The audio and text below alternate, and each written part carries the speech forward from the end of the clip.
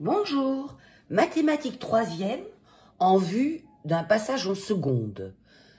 Exercice et corrigé relatif aux équations et inéquations du premier degré à une inconnue.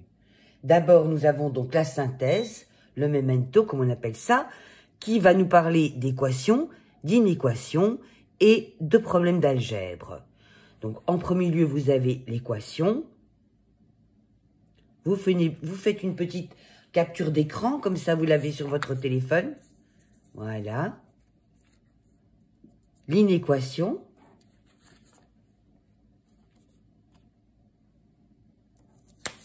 Et enfin,